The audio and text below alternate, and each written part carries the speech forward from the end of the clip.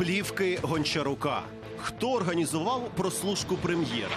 Чи багато зайвого він наговорив, і чи справді опинився за крок від звільнення? Закінчення епохи бідності для обраних. Хто із топ-чиновників нарізав собі щедрих зарплат? І як оцінили себе слуги народу? Наріжний кодекс для турборежиму. Чому депутати зволікають із земельною реформою і чи надовго відклали розгляд? Житлово-комунальна корозія, застарілі комунікації чи втомлені чиновники. Хто винен у пекельних аваріях, що лише дивом минулися без людських жертв?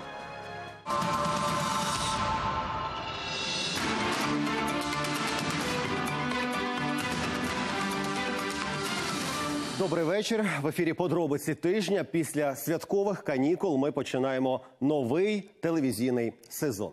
Повернулися до активної діяльності після новорічних свят і наші політики. Та зробили це так гучно, що одразу видно, це справді українські політики. Скандалів у нас за один лише тиждень було стільки, що в інших країнах ну вистачило б на кілька років. Проаналізуємо їх сьогодні всі.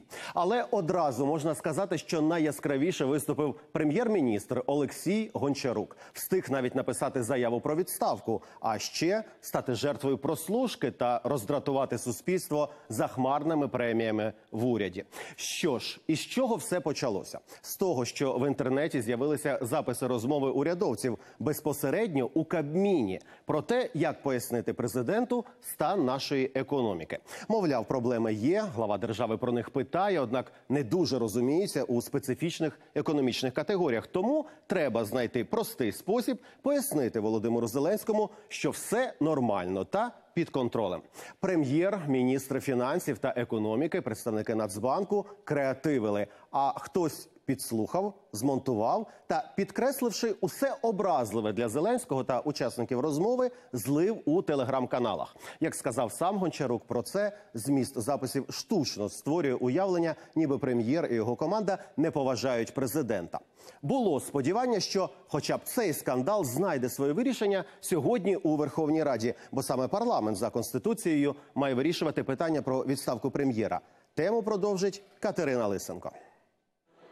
Земельні перепитії, відтермінування децентралізації та легалізація грального бізнесу. І все це на тлі тихих внутрішніх суперечок та гучних публічних заяв. Так рада закінчила роботу другої сесії. Гору роздрукованих паперів це все порівняльна таблиця до земельного законопроекту. Проте ці стоси так і залишилися припадати пилом у кулуарах, не дійшовши до сесійної зали. Бо опозиція наполягала такий важливий документ слід розглядати за процедурою. Робоча група від нашої фракції і робоча група від агрокомітету е, будуть розглядати правки, які надала наша фракція. Їх приблизно 3 тисячі. Тому е, ця робоча група після того відпрацює правки. Потім вони будуть внесені на комітет і буде пройдений весь механізм розгляду правок наших, і потім внесено їх в зал. І наша позиція не змінилась. Ми вважаємо, що продаж землі повинен бути тільки після всеукраїнського референдуму. Ми пішли на дуже багато е, правок. Ми зменшили концентрацію, заборонили іноземцям, враховуючи те, що є ризики, що може бути заблокована Верховна Рада на декілька місяців.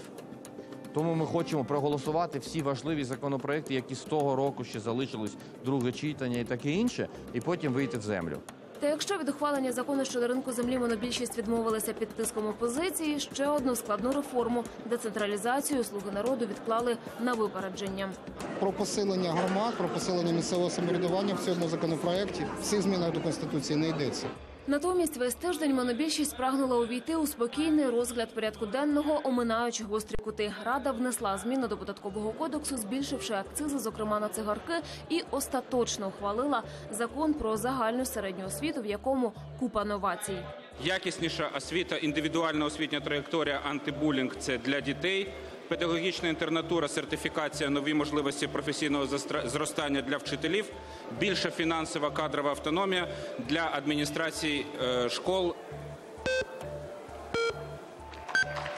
За 327 рішення прийнято, закон прийнято в цілому. Та, попри конституційну більшість, противники документу наголошують, закон порушує права частини громадян України тих, хто бажав би для своїх дітей шкільну освіту російською мовою. У нормах ухваленого закону в опозиційній платформі за життя вбачають порушення одразу чотирьох статей конституції. Вимагають від президента не підписувати документ. Не менш критично депутати ставляться і до легалізації грального бізнесу. Однак рада все ж попередньо схвалила відповідний законопроект. Це теж мільярдні надходження до бюджету. За рахунок ліцензії, за рахунок сплати податків передбачено, що гральні автомати вони знаходяться тільки в готелях 3, 4, 5 зірок, а казино тільки в п'ятизіркових готелях. Тобто це ценз е, також було встановлено з 18 до 21 року. Також е, було підвищено і покарання за організацію нелегального грального бізнесу. Вони очікують 4 мільярди гривень надходжень в бюджет. Так для цього треба, щоб більше 40 мільйон мільярдів е, українці програли. Тобто, по, по-інакшому, ну ви ці гроші в бюджет не отримаєте. Та всі законодавчі здобутки та програші поблякли на тлі гучного скандалу в кабінеті міністрів після злитих у мережу плівок Гончарука. Я помню, по я юрист Ну что я понимаю? І одразу після появи записів у раді тільки й розмов, що про відставку прем'єра. Хоча рідна фракція слуг народу до останнього стоїть на захисті. На порядок денний фракції питання про відставку Гончарука не виносилося. Нам би всім хотілося б, щоб спілкування всередині кабінету міністрів відбувалося на більш професійному рівні. Після подібних слів, демонстрації непрофесійності і змісту діалогів, які ми почули в кабінеті прем'єра, ну довіри до такого уряду буде небагато. І у нас, у міжнародних партнерів, і зокрема у президента Зеленського.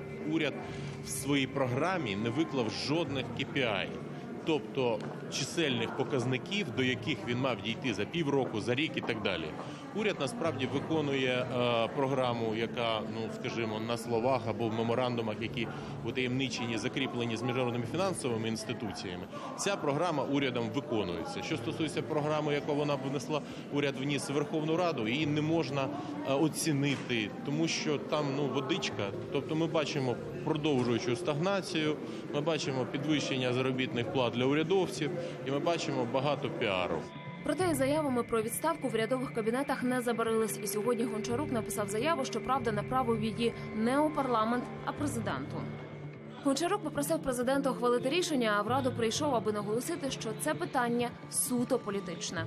Уряд України продовжує працювати в штатному режимі до того моменту, поки президент не прийме рішення, хто на якій позиції в команді великій може працювати. Я орієнтуюсь на рішення президента. Якщо президент прийме таке рішення, звичайно, я голосуватиму за і думаю, фракція підтримає. Этой отставки не произойдет. Слуга народа будет отстаивать э, Гончарука, президент будет отстаивать Гончарука. Это коллективная сегодня защита. Они считают, что он на своем месте. И я уверен, что большинство граждан Украины уже считает, что они не на своем месте. Ну а парламент тим часом закінчив роботу другої сесії. Тепер у депутатів офіційні канікули. І якщо перед нардепами і постане питання про зміну власників урядових крісел, то це відбудеться не раніше лютого. Катерина Лисенко, Ксенія Барвіненко, Вадим Сверодонов. Подробиці тижня, телеканал Інтер. Ну а вирішилося питання про відставку Гончарука, точніше, не відставку під час зустрічі із Зеленським. Ось що сказав президент прем'єру. Я подумав. І мені здається, що правильно буде. Моє наступне рішення я вирішив надати вам шанс. І шанс вашому уряду. Якщо якщо ви вирішите деякі речі, які сьогодні дуже важливі, які дуже турбують наше суспільство. Перше заробітні плати. Ви знаєте це питання. Ми піднімали це питання. Я дуже вас прошу, щоб ви запропонували офісу президента і мені особисто нову концепцію заробітних плат всіх міністерств, всіх відомств, замміністрів та будь-яких інших державних компаній, очільників цих компаній, заступників цих компаній, з розумінням, де ми живемо з вами. І з розумінням тих чи інших міністрів, де ми живемо, ось коли ви і ваш уряд ви піднімете цю економіку, можемо піднімати ці заробітні плати. Друге, що я вас дуже прошу. Розібратися з більш складним питанням, але я дуже хочу вас розібратися з ситуацією, яка теж обернеться великим скандалом НАК Нафтогазу з приводу їх відсотки, які вони отримують з 2,9 мільярдів доларів, які ми отримали від Російської Федерації. Вони теж повинні бути не тільки прагматичними менеджерами, а ще й залишатися ну, людьми. Президент провів сьогодні також і нараду з керівниками правоохоронних органів. Вимагає встановити, хто саме прослуховував урядовців, і максимум за два тижні дати відповідь. Зеленський сказав, що розмови за участю прем'єра, які були записані та після монтажу злиті в інтернет, загалом тривали більше п'яти годин. Причому це не одна зустріч. Тепер силовики мають перевірити, хто був на цих зустрічах та яким чином могли записати урядовців. Ну, От якщо подумати, звучить це так, ніби зробити запис міг і один з учасників цих бесід. Отже, як довго Гончарук ще працюватиме прем'єром? Та чи випадковість те, що новий рік почався так скандально? Це запитання до нашого гостя, який завжди добре поінформований у політичних справах Володимира Фесенка. Пане Володимире, дякую, що прийшли. Радий вас привітати. Вітаю вас. Ваша думка, що ж це все ж таки було з прем'єр-міністром? Хтось намагався збити його таким чином з посади, чи все ж таки Гончарук сам створює собі проблеми? Ні, я думаю, що тут складна історія. Безумовно, була певна спецоперація з прослуховуванням, записом цих е, е, е, зібрань в уряді, але от те, що зливали, це явно було спрямовано і проти керівництва Нацбанка, і одна з версій, що записували керівників Нацбанку. А попутно, А е, попутно вже потрапив під удар, більше, ніж да, хотіли. потрапив і Гончарук. Е, І скористалися не дуже, скажімо, обережними висловленнями Гончарука і щодо себе, і щодо президента. Але Гончарук треба віддати належне. Да, це була ризикована гра з його боку. Але заява про відставку, в принципі, е, ну це формально, хоча б виглядало по західному. Якщо є питання довіри, да, я звертаюсь до президента, оскільки президент його рекомендував. От президент мав вирішити питання. І е, безумовно, е, тут Гончарук або програвав повністю, або він отримав кредит довіри, що йому вдалося. І певною мірою це зміцнило його позиції. Чому саме таке рішення з боку президента? Я думаю, на, напередодні Давоського форуму економічного, де е, президент має зустрічатися з багатьма партнерами, буде зустрічатися з керівництвом МВФ і з інвесторами. Відставка уряду була б вкрай негативним Ну сигналом. це не то це зовсім не козир, з яким можна приїхати на форум такого да. рівня. Але Тут це урок, це урок для всіх, і в першу чергу для Гончарука. Я думаю, що зараз він буде більш дисциплінованим, а йому, але йому треба стати більш рішучим і жорстким. Тому що політика наша, як засвідчила ця історія, це Ну і напевно буде ретельніше і частіше будинок. шукати прослушку у своїх кабінетах. А ви вірите в силу наших спецслужб? До речі, вони виконують завдання президента за два тижні, знайдуть е, винних. Ну можливо, це чи ні? Ну не зовсім впевнений. Я нагадаю історію з Джокером. Ми досі не знаємо. Теж от попередні скандали восени. Ми ще досі не знаємо, що це за Джокер, хто такий. Хто автор цього анонімного телеграм-каналу? Да. І тут не просто буде. Я е, технічно не буду оцінювати ситуацію. Я скоріше е, припускаю, що будуть посилені заходи безпеки.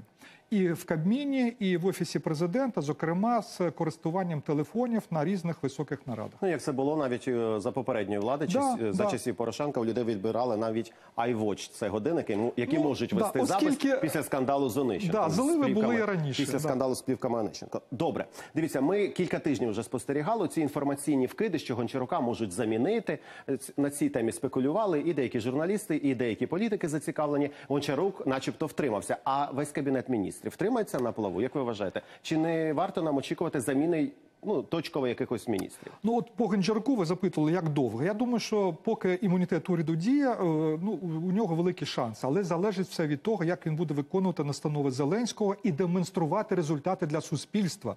От дуже добре, що президент про це нагадав. І це буде критерій і для міністрів.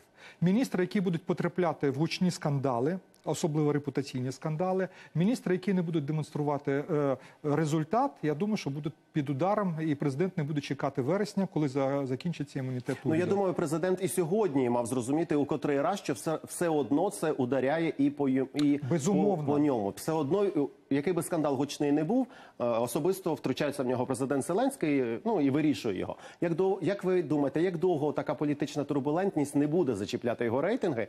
Чи все ж таки зачепить, і як це може відобразитися на цифрах? Тоді Історія з рейтингами минулого року засвідчила, що все ж таки е, е, на рейтинги це впливає. Інша річ, що наприкінці року Зеленський стабілізував рейтингову ситуацію, і в принципі він ще залишається, як іноді жартують, тефлоновим. Тобто, от всі ці негативи до нього менше прилипають. Але все рівно, от дуже добре, е, ризики є і дуже великі. Будь-які скандали е, серйозні вони б'ють і по президенту. Але те, що президент реагує на суспільно значущі проблеми, от як з зарплатами і преміями е, для Нафтогазу, оце дуже добре. А далі як буде реагувати уряд? От Якщо уряд буде реагувати погано, тоді президенту доведеться використовувати і кадрові рішення. На що я звернув увагу цього тижня, планували дуже так активно почати роботу Верховної Ради, знову включити турборежим, розглянути зокрема такі питання, як децентралізація, зміни до регламенту, земельну реформу, але все відклали. От все довелося відкласти, або ну так просто перенести розгляд цього питання. Про що це свідчить? Що з турборежимом? Він на Е, зламі? Я думаю, що вирішили технічно відмовитись від турборежиму. Зверніть увагу, от ну ви не повністю показали цю розмову президента з прем'єром, але там е, ну судячи по новинах, да ну стисли е, Формат, рамки да. для е, програми. Але там е, е, були такі е, розмови, що треба більш уважно працювати уряду з е, парламентом і е, е, більш змістовно. А турборежим цьому заважає. Я знаю, що є багато критики навіть з боку депутатів е, Слуги народу. Але по окремих е, законопроектах є своя логіка. Ну, наприклад, по децентралізації дуже багато було критики, і е, мені здається, стало зрозумілим, що в нинішньому вигляді цей законопроект не збере 300 голосів на фініші, і тому краще все ж таки над ним ще попрацювати. А от по земельній реформі, я думаю, відклали з тактичних міркувань. І думаю, зараз узгоджують модель, як проваджувати цей законопроект, чи по всіх поправках голосувати, угу. чи все ж таки в більш стислому режимі. Зрозуміло. Дякую вам за ці відповіді. Один із найдосвідченіших українських політологів Володимир Фесенко відповідав на, на мої питання. На все добре. Дякую. Скандали з прослушкою та заявою про відставку прем'єра Гончарука інформаційно поховав тему щедрих премій та зарплат у владі. Те, про що всі сперечалися ще на початку цього тижня. Але насправді це ж важливе питання. Скільки має заробляти державний службовець? Чи справедливо платити чиновникам у рази більше, ніж люди в країні заробляють в середньому? Та чи можна лише високими виплатами гарантувати, що чиновник не стане хабарником? Спробуємо поглянути на це дещо ширше. Яку відповідь на це питання про доходи чиновників дають держави успішніші за Україну? Анна Філь з'ясовувала. Російський уряд пішов у відставку, бо дізнався про зарплати українських міністрів. Один із свіжих анекдотів на тему міністерських заробітків. Бо про це зараз не жартує хіба що лінивий. А почалося все з мінкульту. Виявилося, що у відомстві під новий рік вирішили щедро і культурно себе привітати. Міністр Володимир Бородянський виписав собі за грудень 112 тисяч гривень премії, а його заступникам нарізали аж до півмільйона. Після такого зарплатного улову журналісти вирішили в декларації інших урядовців зазирнути. Тож вийшло, що Бородянський ще й поскромничав. Інші міністри майже по чверть мільйона собі виписали. Є люди, які працюють 30 днів чи навіть менше днів на, на рік і отримують зарплату 20 тисяч доларів, 25 тисяч доларів да, на місяць. Ну, в державних підприємствах. Хочемо заслух, заслухати, яка в цьому ефективність. Виправдовувати і пояснювати щедрість колег взявся Дмитро Дубілет. Виявляється, секрет зарплатної арифметики, надбавки та премії. Деякі міністри отримали е, цей дохід за результатами кількох місяців своєї роботи. Ми, звісно, усвідомлюємо про те, що це суми вищі ніж е, середній доход в Україні, але це не така приголомшова сума. А суми й справді дещо вище за середній дохід у державі, бо середня зарплата зараз це близько 10 тисяч гривень. Відтак розрив із урядовими заробітками в десятки разів. Та й такі гроші отримують переважно в приватних компаніях, а не з державного бюджету. Відтак почалися суперечки, чи мають право на такі зарплати міністри, і чи справедливий такий розрив. Разом із тим усі почали рахувати і порівнювати. Найпопулярніший мем очільник Укрпошти проти американського президента. Перебрався б з Білого Дому до Києва і заробляв би вдвічі більше. Жарти жартами, виявляється, чиста правда. Здається, за законом я маю забирати хоча б один долар. Цього мені й вистачить, але я навіть не знаю, яка в мене зарплата. Ви знаєте? Мільярдер Дональд Трамп від зарплати ще на початку свого президентства демонстративно відмовився. Хоча за законом господар Білого Дому має отримувати 33 тисячі доларів на місяць. Але багатий Трамп не бідує, тож президентський оклад віддає нужденним. Президентство обійшлося мені у суму від 2 до 5 мільярдів доларів. Стільки б я заробив, якби не пішов у політику, а й далі займався бізнесом. Але яка різниця, якщо можеш собі це дозволити?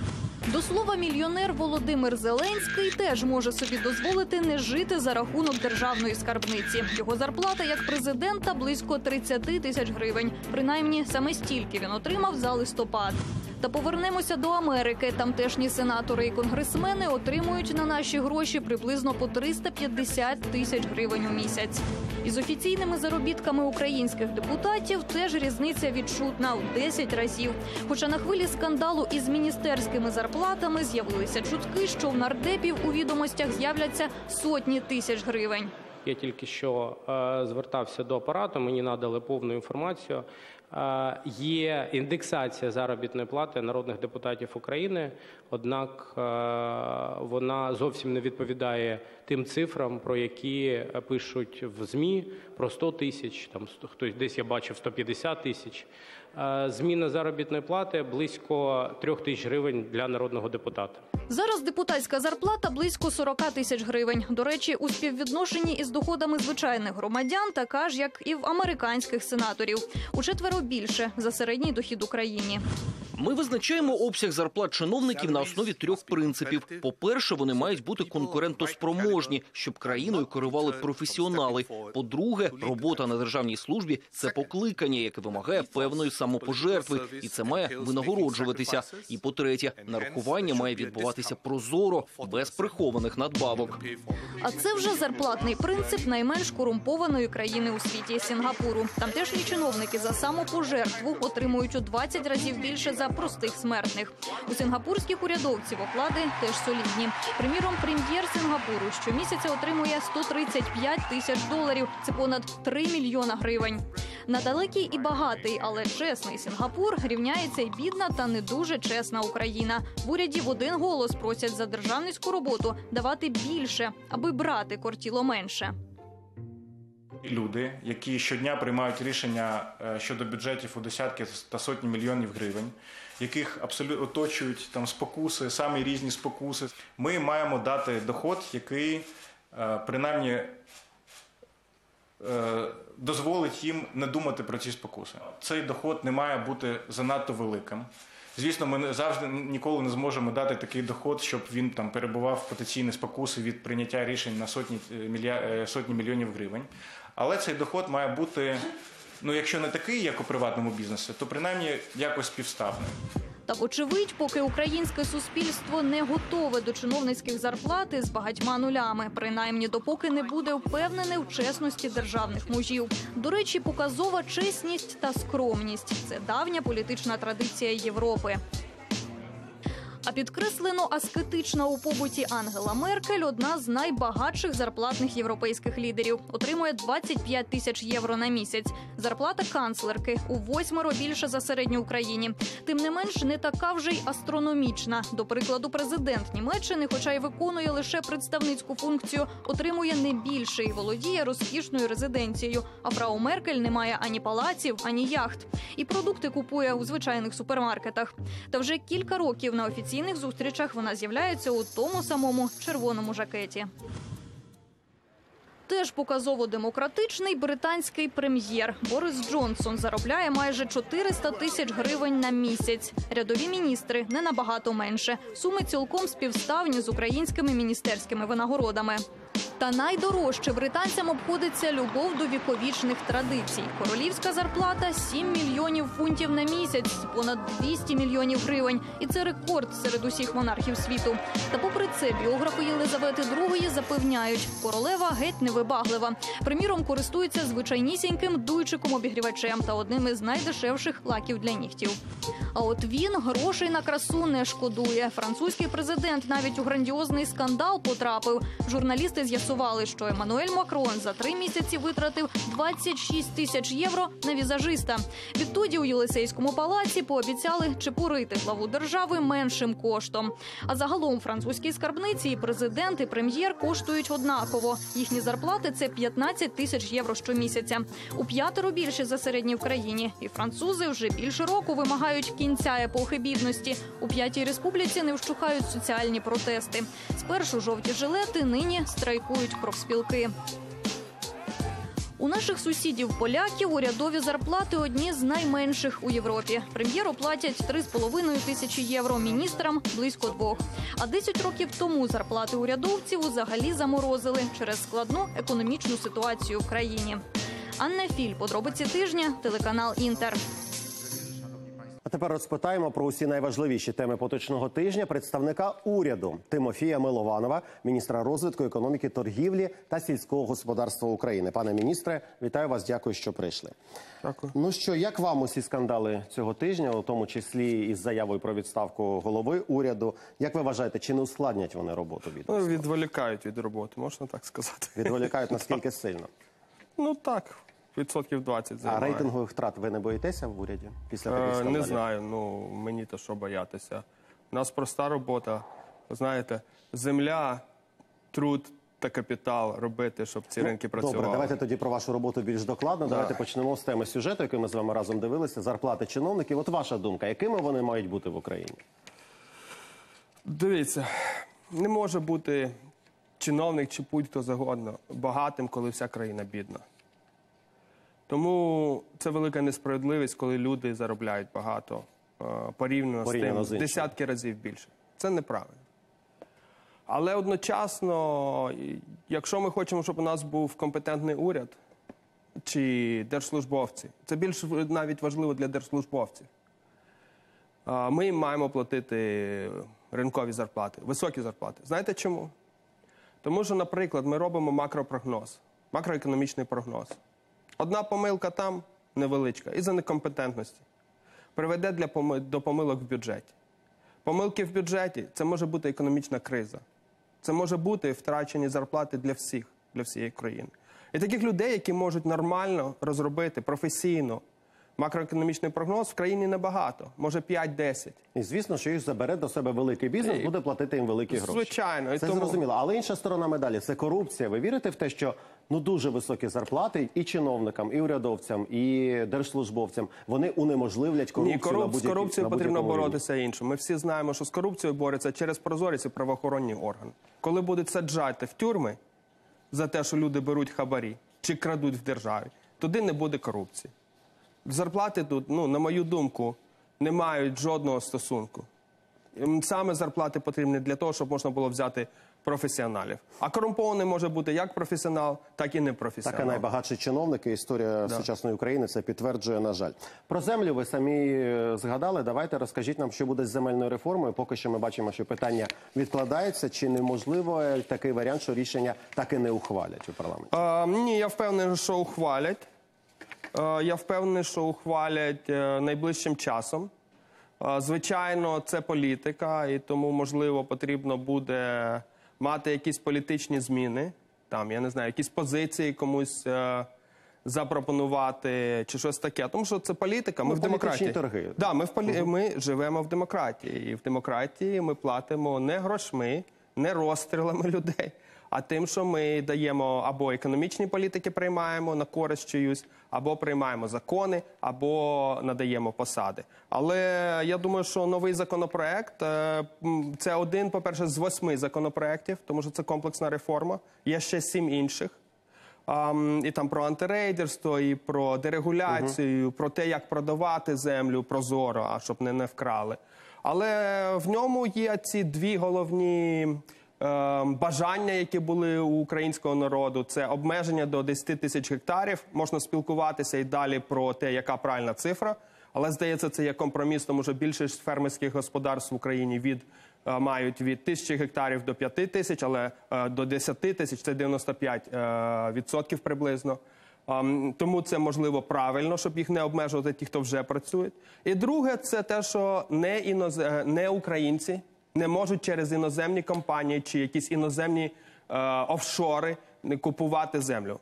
Тут важливо зазначити, що навіть якщо це є українці, власники, наприклад, кипрської компанії, тобто власник українець, але компанія є іноземна, Іноземна це теж не не можна так робити. І це добре, тому що українські компанії мають працювати в Україні і платити податки не в Кіпрі, а в Україні. Якщо цей варіант все ж таки пройде голосування і воно буде успішним, який економічний ефект ви вже прорахували? Напевно, можна очікувати українській економіці. Ем, так, в перший рік він буде невеликий, е, 0,23% від ВВП. Чому так мало? Тому що це тільки три місяці. Ви торгувати землею Да. будете да, і, і дивіться, довго. тут же ж не задача торгувати. Тут головна задача, щоб нам під заставу землі, на власника землі, на фермера, який нарешті став власником, а не РОНДРМ, він вже серйозний е, бізнесмен, бо в нього є актив. Під цей актив йому хтось може, банк чи інший партнер, дати довгі дешеві гроші. А він може їх інвестувати в якусь вже переробку чи інфраструктуру, щоб Цей вже механізм зрозумілий. Наступні роки, який економічний зиск? 1-2% в залежності на рік. На рік? Да. Зале... Додаткового зростання. Угу. В залежності від того, наскільки правильна реформа буде зроблена. Ви пропонуєте змінити законодавство про працю. Давайте визнаємо, це викликало вже великий Так. шквал невдоволення, критики профспілок. В першу чергу, профспілки як ви ставитесь більше, до цієї критики, та які ключові речі все ж таки плануєте змінити? Ем, найголовніше, я думаю, що от, ем, якщо в ринку землі в реформі були дійсно такі політичні питання, обмеження іноземців, фінансування, то в е, законодавстві про працю соціологія показує, що 82% підтримують те, ту пропозицію, яку ми робимо. Насправді профспілки борються не з законодавством про працю. Вони борються з іншими законопроектами, які є подані, які обмежують чи змінюють, наприклад, їх можливість користуватися власністю державною. В них більше двох тисяч, майже три тисячі об'єктів цілісних майнових комплексів в Україні, які належать державі, але вони ними користуються. І там немає прозорості, там є певна корупція. І от боротьба з цим за ресурси насправді і є те, що Все ж таки, ви готові прислухатися? Чи Так. є в вашому законопроекті закладено те поле для маневру, Так, як це було із земельною Звичайно. реформою? Чи готові ви до конструктивних діалогів Звичайно. з критиками, як це було Так. під час обговорення земельної реформи? Ну, от, наприклад, вчора прийшло чи позавчора прийшов лист е, з американських, здається, якоїсь профспілки про те, що ми порушуємо все, що можна, і не можна звільняти людей, те, що вони називають англійською at will, without severance pay. Що це означає? Що просто звільнити без компенсації. Але це маніпуляція, тому що в законі, в законопроекті, чорним по білому написано, що компенсація буде чітко прописана, кількамісячна зарплата, інколи навіть 6 місяців. Бізнес насправді приватно нас критикують, що ми забагато кажемо про компенсацію. Тому тут є велике непорозуміння і маніпуляція. Людям будуть платити гроші за звільнення, а не просто їх тримати і попереджати за Тут я два вам скажу, місяці. що напевно потрібна ще й роз'яснювальна робота. Роз'яснювальна робота дуже потрібна, активна для але ми населення. готові на з профспілками, проводити. і ми тихенько з певними профспілками ведемо перемовини, які є конструктивними. Зрозумів. Міністр фінансів Оксана Маркарова анонсувала старт роботи групи з підготовки змін до податкового кодексу. Ну очевидно, що і ваше міністерство буде приймати участь так у цьому процесі. Що може змінитися у наших податках, та чи може собі держава істотно знизити податковий тиск на бізнес, як цього вимагає? Ну, має принципі, знайти шлях. Бо якщо не буде зниження е, на бізнес податкового тиску, то в нас не буде розвитку економіки. То ми маємо знайти, як це робити. У нас є сім позицій е, саме в Міністерстві економіки. Звичайно. Воно буде відрізнятися від позиції Міністерства фінансів, чи там Національного банку, чи прем'єр-міністра, тому що в кожного своя робота. В Міністерства фінансів робота не допустити, щоб не був е, зібраний бюджет. Зарплати потрібно лікарям та вчителям платити. А що хоче Міністерство економіки? Міністерство економіки хоче розвитку економіки. То нам менше навантаження це краще. Але в нас є. е, Є певні жорсткі вимоги, я би сказав. Перше, це спрощений режим оподаткування, тобто малі податки. В якій формі не важливо, але для малого та мікробізнесу має залишитися, бо ми маємо стимулювати розвиток бізнесу. Друге, ухиляння від сплати податків за рахунок використання саме цих мікросхем, коли велика компанія е, притворяється, що вона є маленькою. Набирає працівників за це ФОПів, люди щоб мають уникнути йти в тюрму. податків. Мгм. В тюрму мають йти. А, і ми маємо далі сказати, що у нас є, наприклад, IT, чи якісь інші послуги, чи можливо навіть промисло, чи інше, де є в нас е, пільги. Але саме для інноваційних напрямків це може бути знов таки промисловість, але там має бути високотехнологічне пі- підприємство з великою доданою вартості. За це можна, наприклад, давати якісь е, компенсації у податках на, на рівень інвестицій. 50% проінвестованих грошей це вам податкова пільга, наприклад, чи 30%. Так робиться в інших країнах. Е, Поступово важливо знижувати податки на працю. ЄСВ особливо, ПДФО. Чому? Тому що потрібно, щоб люди працювали і заробляли. Зрозуміло. І найважливіше, е, не найважливіше, а останнє, що активи, наприклад, нерухомість землю ми маємо оподатковувати. Ніхто не має ховатися з великими активами і не платити податки. Найважливіше це підвести риску під цими пунктами і сказати, і в результаті українській економіці це дасть економічне зростання. Філософія наша приблизно Е, оподатковуємо тільки активи, не оподатковуємо бізнес-операції. Я думаю, що це може до 1-2% додаткових дати, якщо ми правильно це проведемо, зростання на рік. Ну дай то Боже, як то Я теж, я теж кажу. Дякую вам за ці відповіді. Тимофій Милованов, міністр розвитку економіки, торгівлі та сільського господарства України, відповідав на мої питання. Ми ж з вами продовжуємо подробиці тижня, і ось які теми обговоримо далі. Житлово-комунальна корозія, застарілі комунікації чи втомлені чиновники. Хто винен у пекельних аваріях, що лише дивом минулися без людських жертв? Покарати забойних. Якою має бути відповідальність Тегерана за знищення українського лайнера? І чи справді катастрофа була випадковою? Національне антикорупційне бюро пішло у наступ на хабарників у податковій. Детективи викрили схему незаконного збагачення чиновників на сотні тисяч доларів щомісячно. Хто попався та на скільки років тепер їх можуть ув'язнити? Усі подробиці в Андрія Анастасова. Напередодні новорічних свят детективи НАБУ встановили приховану камеру в кабінеті працівника Одеської обласної прокуратури з його ж відома. І ось на таємні перемовини до правоохоронця прийшли очільник регіонального управління Державної податкової служби Наталія Чеботарьова та її перший заступник Володимир Мосійчук. За даними слідства, вони запропонували прокуророві співпрацю. Щомісяця приносять йому гроші, натомість той кришує фіскалів. Простими словами, можемо казати про те, що представники е, Державної податкової служби вчиняли певні незаконні дії е, відносно деяких підприємців, отримали від безпосередньо від них неправомірну вигоду, і саме за це вони пропонували неправомірну вигоду представнику правоохоронного органу щодо е, можливого непритягнення до відповідальності саме їх і, їхніх працівників за вказані незаконні дії. Наступного дня Чеботарьова принесла прокурору перше таке заохочення 25 тисяч доларів. Пояснювала, розмір хабара з часом може збільшуватись в залежності від її власних зборів. При цьому фіскали зауважили, частину грошей їм доводиться надсилати до Києва іншим посадовцям. Кому зараз з'ясовує набу.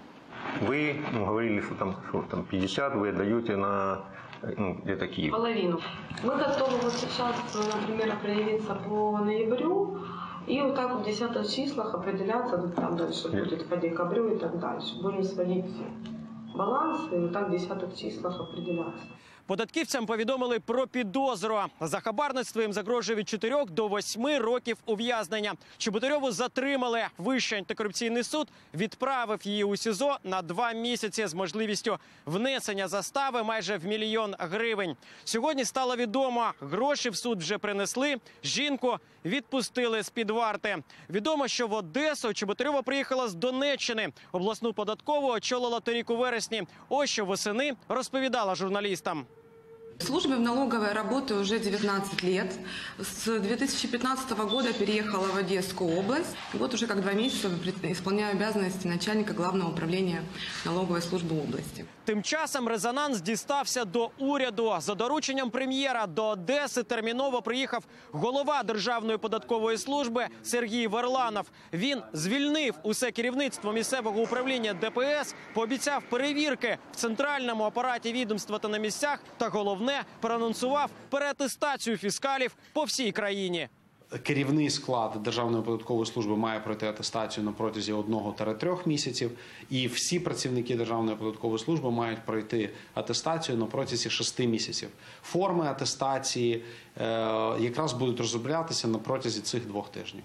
Це е, фактично перевірка з одного боку знань і вмінь, з другого боку, це перевірка доброчесності і е, дотримання антикорупційного законодавства. Верланов представив також нового керівника Одеської податкової. Ним став Володимир Астрійко. Андрій Анастасов, Ігор Міханошин. Подробиці тижня. Телеканал Інтер. Одеса. 80% – це показник зношеності комунальних мереж в українських містах. Водогони, теплотраси – усе треба терміново міняти. Це не просто слова. Кожен із нас може постраждати від комунальних катастроф. От як, наприклад, ті, кому не пощастило опинитися цього понеділка в одному з торговельних центрів столиці. Уявіть собі, дев'ятьох людей доправили в лікарні з опіками від окропу, який залив вулицю та перші поверхи молу пошкоджене або знищене майно на мільйони гривень, і це вже другий такий прорив у цьому місці в Києві. Коли ж проблему старих відпрацьованих мереж вирішать, ну хоча б у столиці, та чому повинні нарешті навчитись наші комунальники у західних колег? Дізнавалися Олена Зоріна і Олена Абрамович. Це наче сценарій до фільму катастрофи. Почули гуркіт. Ну мені здалося, що рушиться фасад. І щоразу одне й те саме міняються лише локації.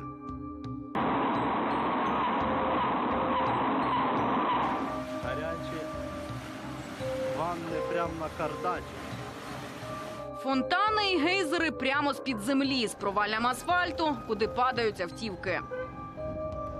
Вода э, наполнила э, почти весь перекресток. Такі історії для України стають буденністю. і Називаються вони не інакше як комунальна аварія. Какой-то капец происходит на Шатару Ставелі. Це вже гучна аварія цього тижня. Что промоина где-то посреди этого. Прям. Если посмотри, какой напор. Затоплення одного з найбільших торговельних центрів столиці ріка з окропу у середмісті із десяток постраждалих із опіками. Мы в шоке. Я такого еще никогда не видел. Смотрите на этот кошмар.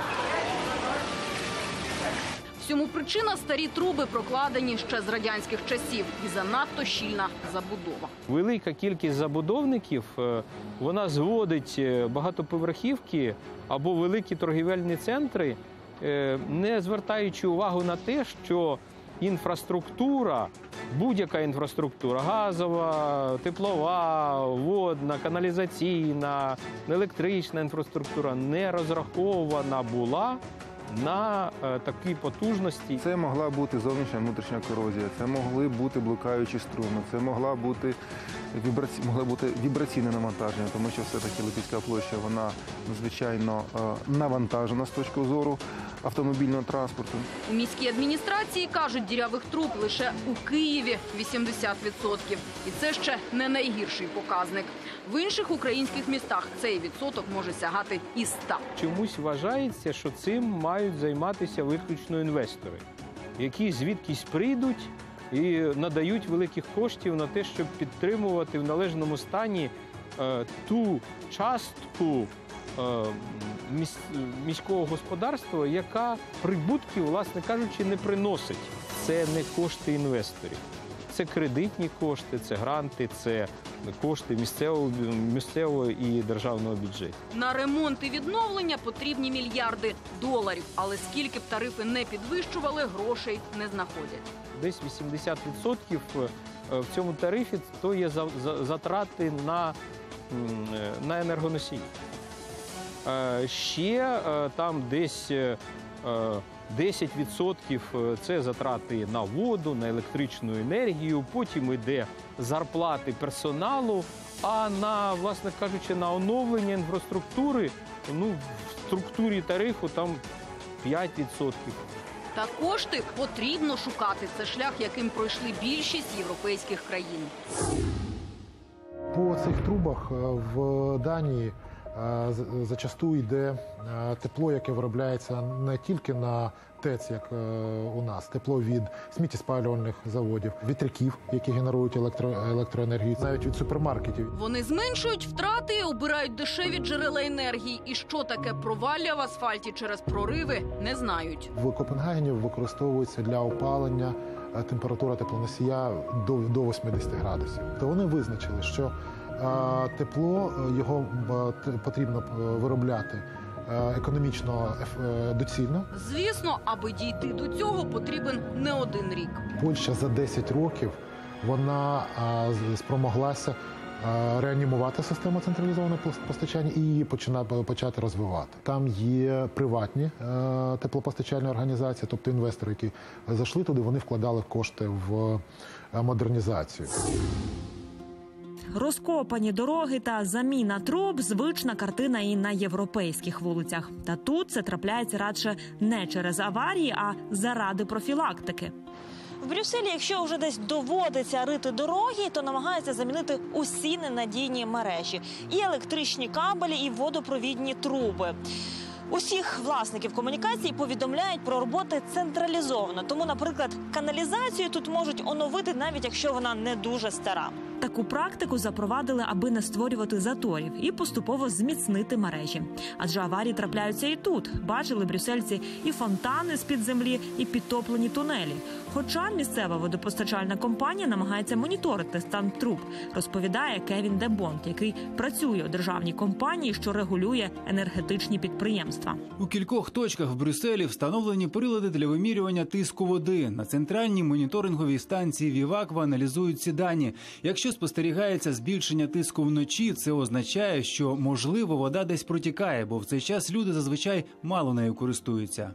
Стрибок тиску це сигнал, що потрібно відрядити інспекторів, які перевірять труби за допомогою звукових приладів. Якщо доводиться ремонтувати мережу, воду перекривають, але не надовго, не як у нас на місяці. Зазвичай воду не відключають довше ніж на 8 годин, але йдеться лише про плановий ремонт. Це не стосується аварійних ситуацій. В певних випадках буває і на добу. Фінансує ремонт комунальна компанія постачальних послуг. Насамперед беруться за ділянки, від прориву яких може бути найбільше шкоди, тобто біля тунелів та великих доріг. В Україні теж кажуть, готові йти цим шляхом. У столиці вже використовують, приміром, енергію від спалення сміття для обігріву. Але питання із трубами наразі відкрите. Є попередня домовленість з Європейським банком реконструкції і розвитку, та вони готові дати лише десяту частину від потрібного. Аварію під столичним торговельним центром до кінця тижня майже ліквідували. Пошкоджену трубу замінили і вже почали відновлювати плитку і асфальт.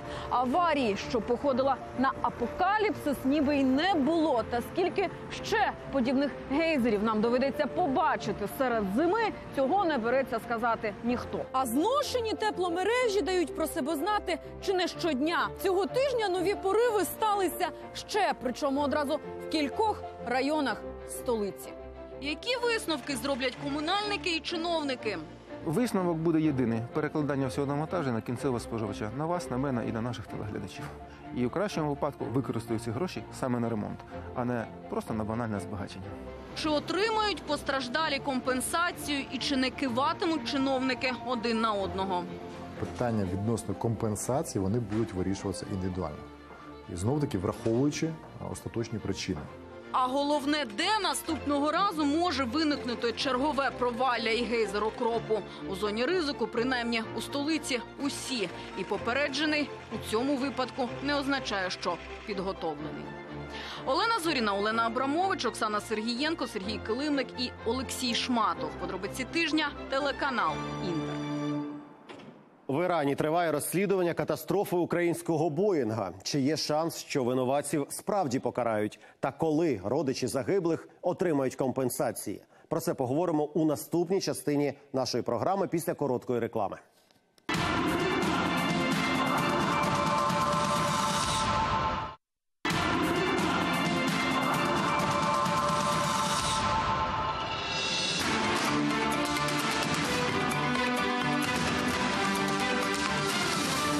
Це подробиці тижня. Ми повертаємось у прямий ефір.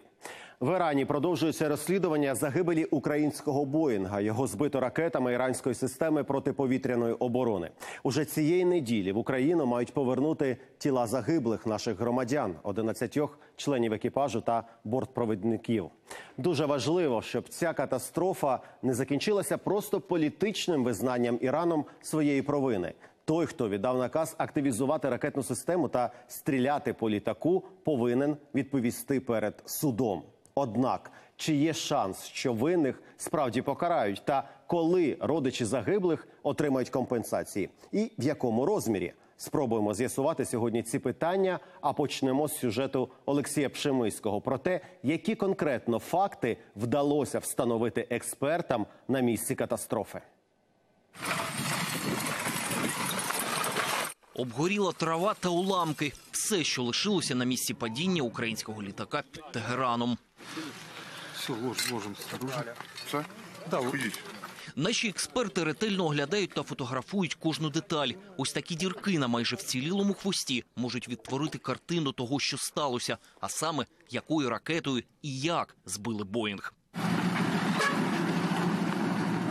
З місця катастрофи вивозять уламки двигунів, деякі частини майже цілі. Тим часом місцеві мешканці емоційно розповідають, як падав літак. Частину уламків українські фахівці доставили до Києва. І вже вдома керівник групи експертів розповідає, як на місці падіння Боїнга вони вели свою боротьбу за правду.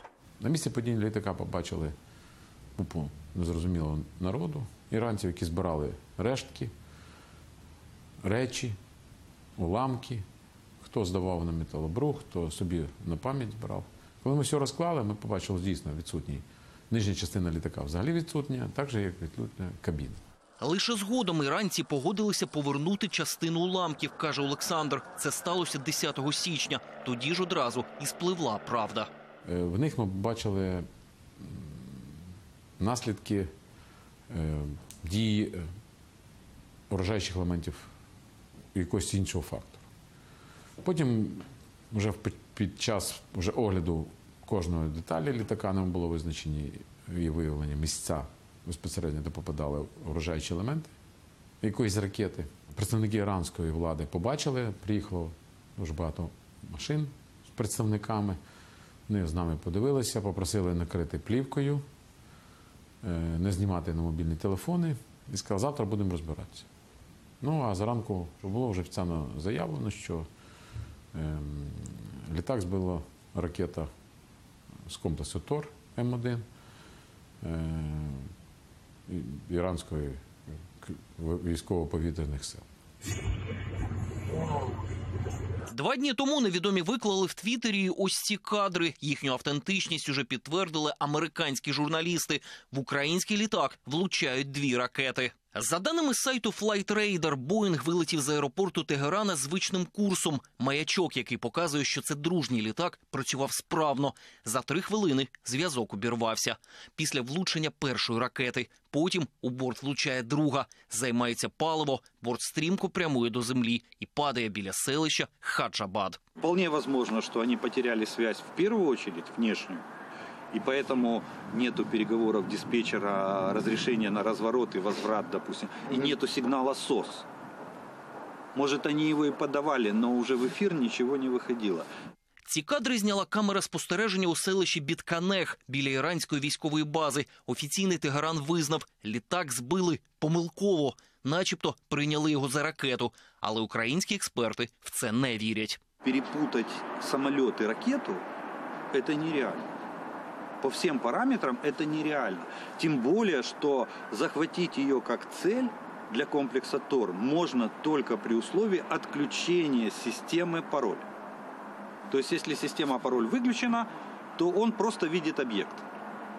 Э, Не он, а э, радиолокационная станция, даже бортовая. Она просто видит объект. Кстати, вот точно так же сбивали MH17. Они на буке выключили пароль, навели, бук увидел цель, они нажа- а, захватили, нажали кнопку «Пуск». Всі ці кроки могли бути лише заплановані і аж ніяк не помилкові, певен офіцер. Утім, у версію про Тор експерт не вірить. Каже, тоді б після першого ж влучення літак би просто розвалився в небі. Я не видел ни одного э, куска обшивки, на котором бы было просто вот сито. Просто решето, которое сделали убойные элементы. Это мог- мог- могли быть переносные зенитно-ракетные комплексы ПЗРК, типа «Стрела» или «Стингер». Они менее мощные, они а, не приводят к мгновенному и большому разрушению. А, При этом достаточно приехать на пикап, на пикапе с плеча выстрелить по самолету.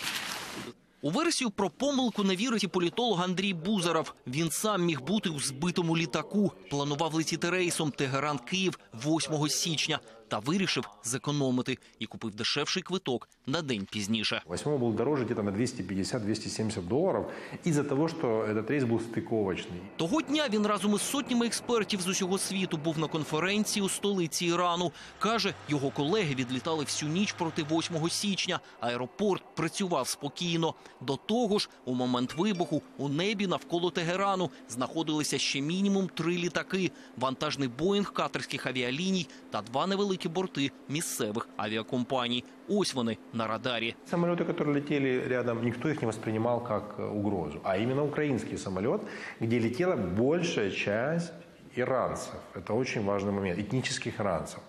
И э, его целенаправленно, образно говоря, вот так сбили. Выбрали из всех десятков самолетов, которые там были, параллельно взлетали до всю ночь и после, и сбили целенаправленно только вот этот самолет. Если это случайность, тогда почему? Загиблих іранців, які летіли цим рейсом, оплакують родичі. Тим часом Київ і досі чекає на тіла українців. І доки експерти працюють над встановленням причин трагедії, завдання дипломатів та юристів домогтися від Тегерана компенсацій, виплатити по 200 тисяч гривень сім'ям уже пообіцяв офіційний Київ. За словами ж експерта Андрія Козлова, пасажирів у разі катастроф захищає Монреальська конвенція. Это примерно 160 тысяч евро по нынешнему курсу. Э, Ну, это то, ниже чего никак не может быть, но де-факто э, там же речь идет об объективной, безвиновной ответственности. А здесь мы имеем дело с, ну, с очевидным случаем, как минимум, грубой неосторожности. Ну, пока, по крайней мере, не доказано какого-либо умысла. Це гроші, які пасажирам має виплатити сама авіакомпанія, і потім вимагати їх від Ірану. Що ж буде далі, поки питання відкрите. За словами юриста Романа Марченка, який захищав родичів загиблих у катастрофі російського ту над Чорним морем 2001-го, головне, чи погодиться Іран добровільно виплатити компенсації. Якщо так, гроші родичі зможуть отримати найближчим часом. Інакше мова йтиме про багаторічні судові процеси. В 2001 году Украина выплачивала по 200 тысяч долларов э, с- э, к- с- семье каждого погибшего. По инциденту 1988 года со сбитым Airbus'ом э, 300 иранских авиалиний Соединенные Штаты выплатили по 300 тысяч долларов на трудоспособного э, гражданина и по 150 тысяч долларов на иждивенца, то есть на детей. Э, я думаю, что вот некие такие ориентиры и должны быть ориентирами, э, которые Украина должна сегодня уже требовать э, по факту этой авиакатастрофы. Чим закінчиться ця трагічна історія, головним чином залежатиме від висновків експертів. Україна й досі не отримала доступ до записів чорних скриньок збитого літака. Тим часом в Ірані вже заарештували військових, які, начебто, й запустили ракети. Не виключено, що їм загрожуватиме смертна кара. Та головне питання: хто, чому і навіщо наказав натиснути на кнопку пуск, і які події на близькому сході запустить трагедію українського Боїнга. Олексій Пшемиський, Олег Невядомський, Володимир Дєдов. Подробиці тижня, телеканал Інтер. Давайте спробуємо розібратися ще ось у чому. Чи правильною була поведінка української влади після загибелі Боїнга? Та коли ж буде встановлено всю правду щодо цієї катастрофи? Це запитання до нашого гостя Андрія Козлова, експерта з міжнародного повітряного права та учасника розслідувань багатьох авіаційних інцидентів. Пане Андрію, дякую, що завітали. Радий вас вітати. Ну, дивіться на адресу української влади у перші дні після цієї жахливої трагедії лунало дуже багато критики. Мовляв, е, реакція держави була недостатньо жорсткою. Як ви вважаєте, чи можна вплинути на хід ось таких розслідувань, особливо у перші дні, якимись жорсткими дипломатичними маневрами, яких очевидно старався уникати президент Зеленський? А, Слід розрізняти тут комунікацію внутрішню і зовнішню.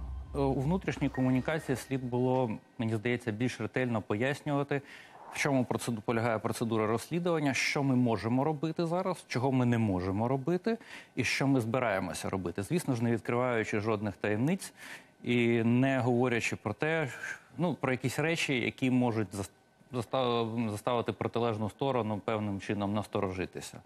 У зовнішній комунікації. Е, Звісно, слід було виходити з тих можливостей, які мала українська держава е, при одержанні доказів. Очевидно, що у нас немає розвиненої розвідувальної мережі в тому регіоні. Очевидно, що ми не маємо засобів радіоелектронної розвідки, які б там розташовувалися. Ми не маємо супутників на цій території. Тобто, ми досить обмежені. ми не маємо і доказової бази для будь-яких ну, звинувачень. тобто, диста- дистанційно, заяв. дистанційно ми мали лише те, що мали, тобто обірвану передачу з транспондера, все решту мали здобути наші фахівці на місці. Вони, я вважаю, з цим завданням впоралися блискуче, незважаючи на протидію е, проведенню розслідування. І от, до речі, в тому, що стосується е, жорсткої мови, коли е, уламки літака починають згрібати бульдозерами і нищити сліди на землі, от тут потрібно було зробити, на мою думку, жорстку, заяву. заяву. Да. Тому що це, ну, це проти міжнародного права взагалі. Зрозуміло. З огляду на ваш досвід великий як учасника розслідувань авіаційних інцидентів, скільки часу взагалі потрібно, щоб знайти правду, встановити винних, тих, хто надавав наказ на знищення, так назвати винуватців? Це місяці, роки приблизно. Ви знаєте, е, назвати безпосередніх винуватців це е, от як не, не дивно це пролунає, це річ другорядна. Найголовніше встановити весь ланцюжок подій і встановити причинний зв'язок, е, в якому це все сталося. І це завдання розслідування, яке зазвичай називають технічним, але це не так. Розслідування в сенсі додатку 13 до міжнародної е, до конвенції про міжнародну цивільну авіацію. Це саме те розслідування, яке і має дати відповіді на всі ці питання. І звісно ж, Україні потрібно бути проактивною в цьому розслідуванні і вимагати, щоб воно проводилося якомога ретельніше і якомога повніше, без таких інцидентів, як мав місце до того, з тим, щоб було встановлено всіх, хто е, був долучений до цього процесу. І встановити також, в чому були системні проблеми і системні помилки в управлінні повітряним простором.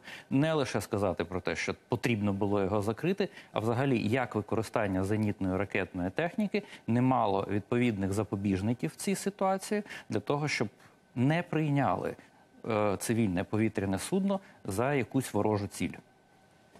Е, скільки часу приблизно займає Я подібні думаю, я думаю, що це е, от тут слід орієнтуватися ймовірно на випадок з MH17.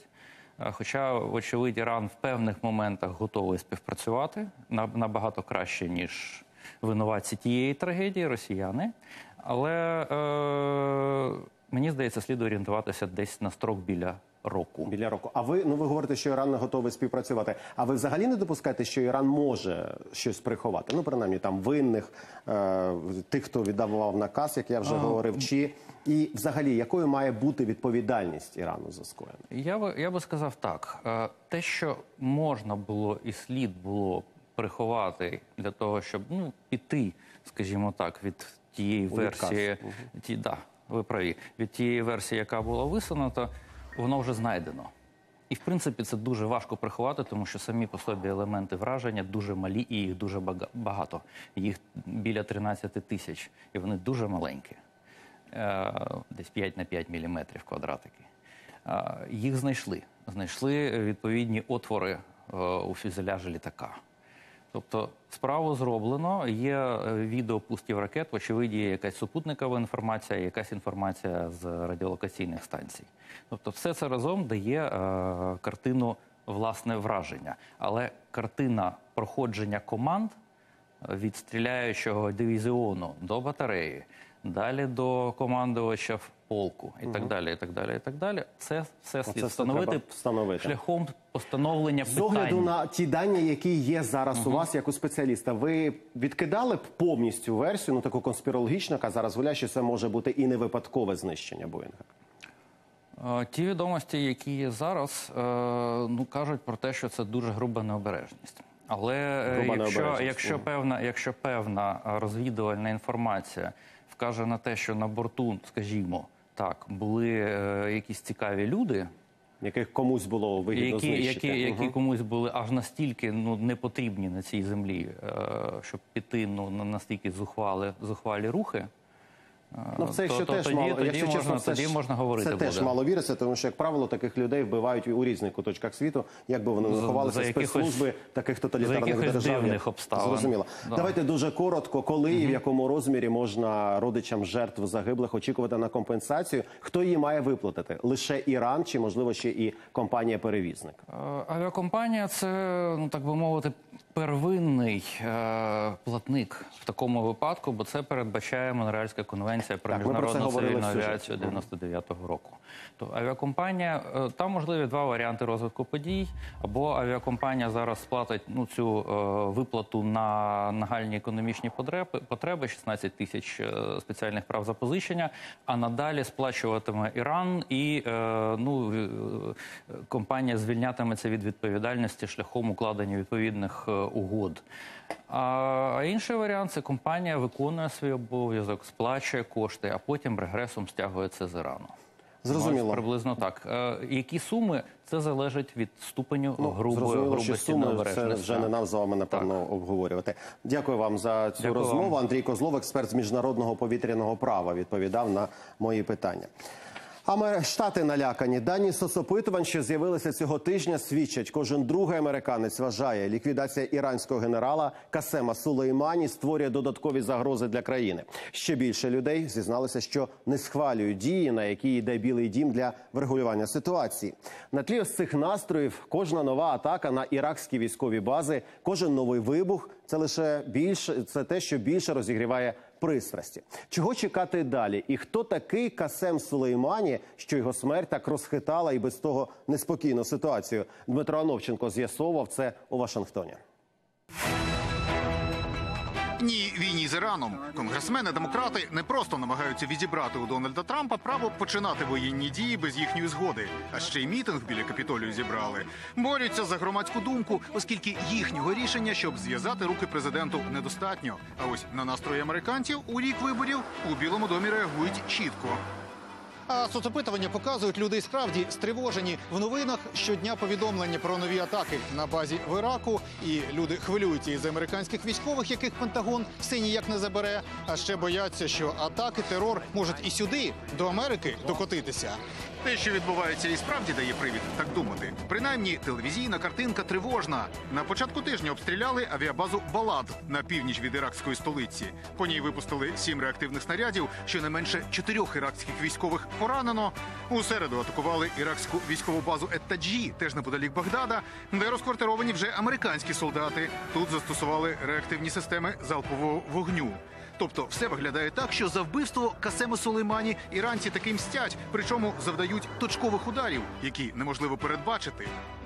Чи був у Трампа вибір, і чи розумів він сам до чого призведе наказ ліквідувати генерала Сулеймані, якого в Ірані багато людей національним героєм вважають? У куларах Білого Дому розповідають, що президент довго вагався. План ліквідації Сулеймані Трампу ще торік влітку приніс тодішній радник із нацбезпеки Джон Болтон, коли іранці збили американський безпілотник. Просив відповісти жорстко, але тоді президент не наважився. Сказав, погодиться тільки, якщо буде небезпека для американських громадян. Але про план Болтона у Білому домі не забули і навіть після його відставки вже держсекретар Помпео таки переконав Трампа. Апелював при цьому до даних розвідки. Мовляв, іранський генерал Сулеймані запланував вибух в одному з американських посольств.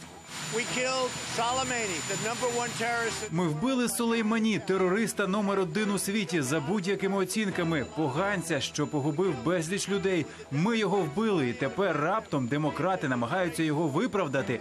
Та це приниження для країни. Вони не мають права так робити. І політично їм це відгукнеться, тому що ми ліквідували терориста номер один, і це ще 20 років тому варто було зробити. Більше того, Трамп заявляє, вся його команда єдина, мовляв, жодних суперечок щодо Сулеймані не було. Чому ж тоді наслідки настільки серйозні? Чим такий важливий Касем Сулеймані, що в день похорону його, якщо вірити офіційним заявам, оплакували 25 мільйонів людей у п'яти найбільших містах Ірану? Чим він заслужив таке ставлення?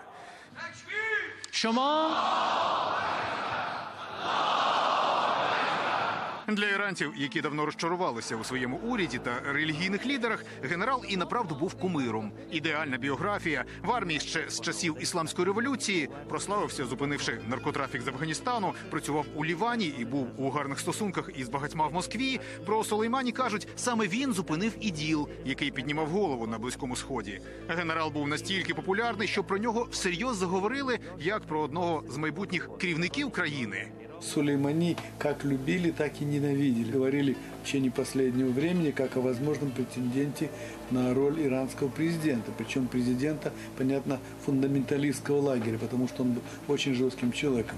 Но ненавидели кто? Ненавидели его те, кто э, понимали, что в Иране все время возрастает роль корпуса стражей исламской революции. В последнее время говорят, что он вообще вышел из-под контроля даже религиозного руководителя Ирана.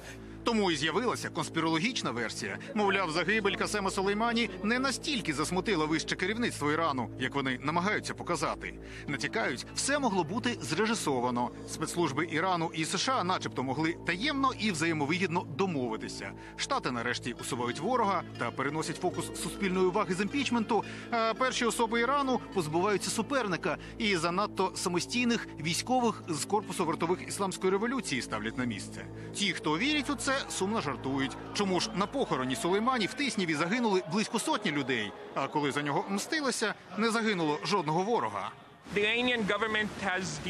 В Ірану була реальна можливість атакувати й американські війська в регіоні і союзників США. Це могло привести і до масових обстрілів американських вояків, коли багато хто загинув би, і до нападів на американських громадян по всьому світу. Але закінчилося все пшиком атакою іракської бази, про яку всі знали заздалегідь.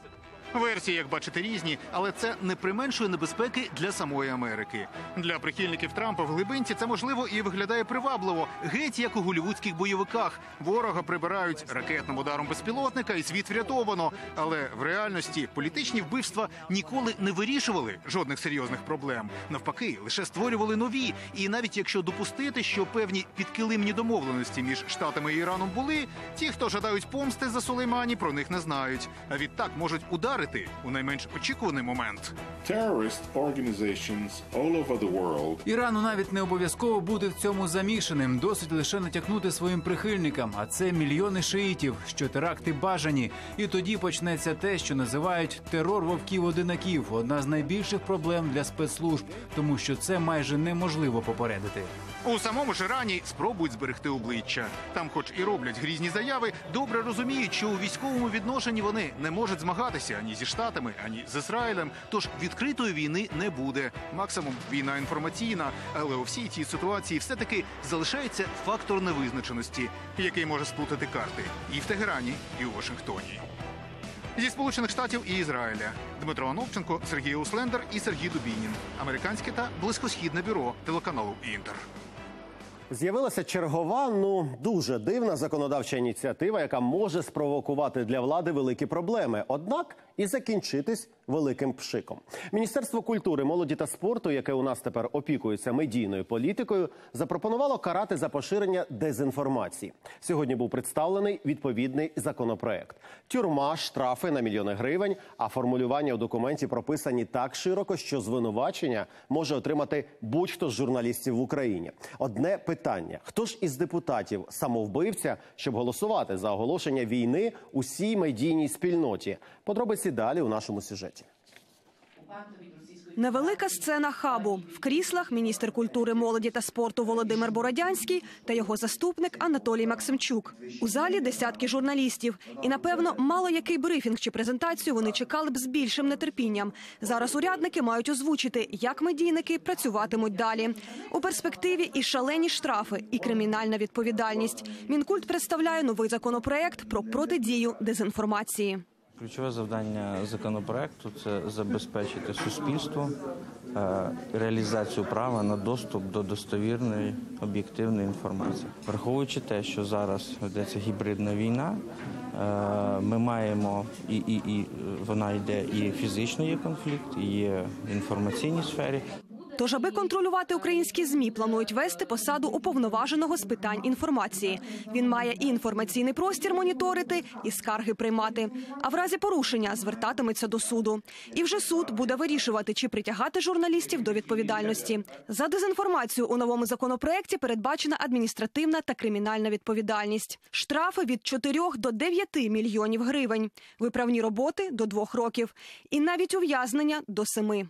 Найсуворіше хочуть карати ботів, які навмисно поширюють фейки і загрожують національній безпеці. Чиновники хочуть запроваджувати певну посаду е, агентства з блокування змісту. А відповідно захочуть е, запровадити кримінальну відповідальність і лякають е, нас за неї за певними широкими критеріями. Тому, перш за все, ми якраз і говоримо, що це втручання в журналістську діяльність, а не реальна боротьба з дезінформацією. Ще одна новація розподіл медійників на простих та професійних. Для цього хочуть створити журналістське самоврядування і комітет професійної етики. Вони й визначатимуть професійність і навіть видаватимуть посвідчення. У мінкульті запевняють, правила та критерії визначатимуть самі журналісти. Министр прямо делит журналистов на два сорта. Первый сорт это будут какие-то профессиональные журналисты, которых он же и будет лицензировать. То есть те, кто будет любить вла- власть, не будет ее критиковать, конечно, они будут профессиональными, и власть будет их защищать. А те, кто будет критиковать власть, конечно, они будут второго сорта, от них все будут ноги вытирать. Викликає питання і те, що вважати дезінформацією, а що, приміром, суб'єктивною подачею або авторською оцінкою. Мінкульті запевняють, хвилюватися нічого. Рішення ухвалюватиме суд. Ключова с- проблема зараз, що немає особи, яка від імені суспільства може звернутися за спростуванням дезінформації. Власне, цю роль буде виконувати ця особа. Але в будь-якому випадку для уникнення будь-яких зловживань, тиску на медіа передбачена певна судова процедура. У будь-якому разі цей законопроект поки пробна куля. Документ будуть доопрацьовувати, а за місяць мають передати на розгляд уряду. Та чи вистачить цього часу? Принаймні у Європі такі ініціативи розглядалися набагато довше. Закон, який надає право громадянам на правдиву інформацію, був прийнято у французів буквально рік тому, і це була реакція. Верніше, це був не закон, а зміни до існуючого законодавства. Тим не менше.